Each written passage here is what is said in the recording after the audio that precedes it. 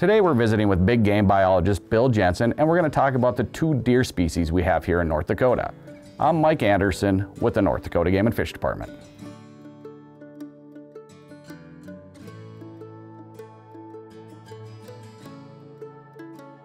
Bill, we have two species of deer in North Dakota. Explain the two. Well, the whitetail deer has a big white tail uh, that it uses as a flag for signaling family members of danger.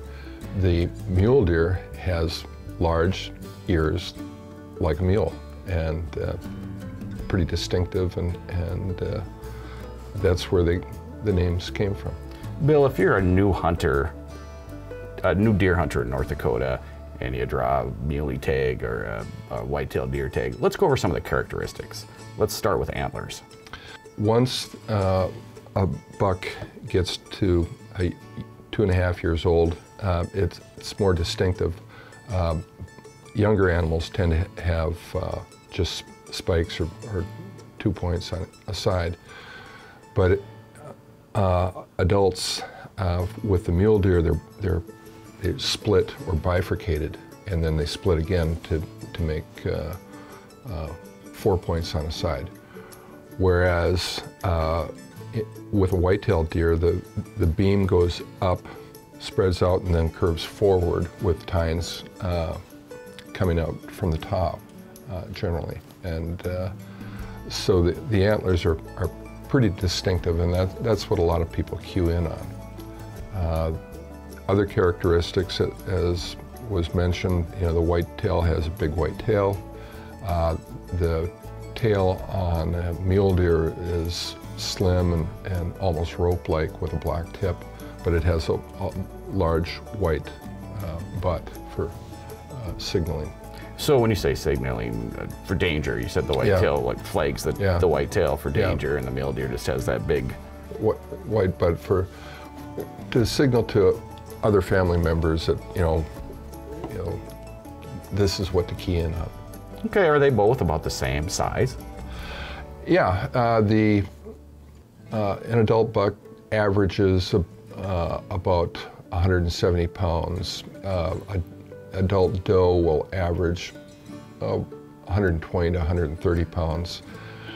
Uh, but they're, they're like people. You know, there's all different sizes deer. You can have a, a buck that's 120 pounds or, you know, they could go up to 300 pounds or more. Okay, how about the color? The color is, is pretty much the same. Uh, mule deer tend to be a little grayer uh, in color, uh, particularly around the head and neck, uh, top of the back. Um, but they, you know, they both have uh, a lighter underside, white belly. Bill, let's go over the habitat each species requires. Let's start with mule deer. Um, mule deer evolved in the western uh, United States, or continent, part of North America. Um, and uh, they primarily inhabited uh, rougher terrain, uh, the Badlands type habitat or, or into the mountains. Uh, whereas whitetail uh, evolved in the eastern forests and take advantage of, of the hiding cover of, of uh, forested habitat. On the prairie, they, they, they tend to do best in uh, river systems, forested river systems. And it's not unusual to see mule deer in the eastern half of the state as well. It's, there's a gradient from uh, west to east. Uh, the, in the core of the Badlands, it's like 95% mule deer uh, some whitetail. Uh, as you go east, it, it progressively uh, gradates out to, uh, you know, five or 10% on, on the uh, Missouri Coteau and, and, Drift Prairie. They, they're, they do not extend really into the, the Red River Valley though. Bill, let's talk about some of the habitat loss, especially for the white-tailed deer. Uh, well, you know, with um, large production agriculture and commodity prices, um, the larger machinery uh, being used, a, lot of the tree rows have been uh, taken out in the eastern part of the state. Additionally, uh, the a lot of wetlands have, have been drained and, and uh, consolidated. Those two habitats provide a lot of uh, cover for uh, fawning areas, and with the loss of that, um, it's we've seen decreases in uh, white-tailed deer numbers, particularly with the loss of uh, CRP acres. And a lot of that is winter cover as well. Uh, cattails are very important winter cover for uh, white-tailed deer.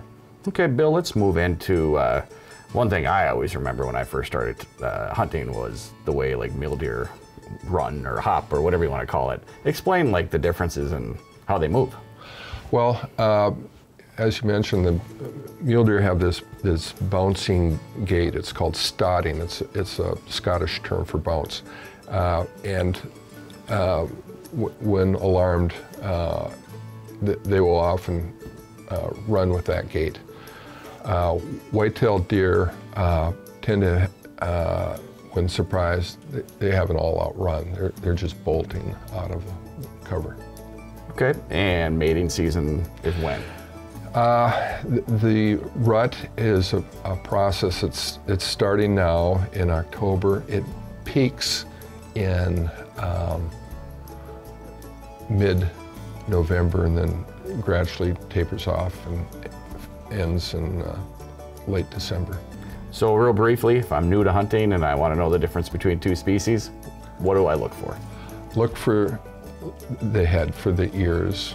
Uh, the whitetail will have much smaller ears. Um, then uh, can be less um, distinctive, uh, but the antlers on the buck, uh, and then you know the tail.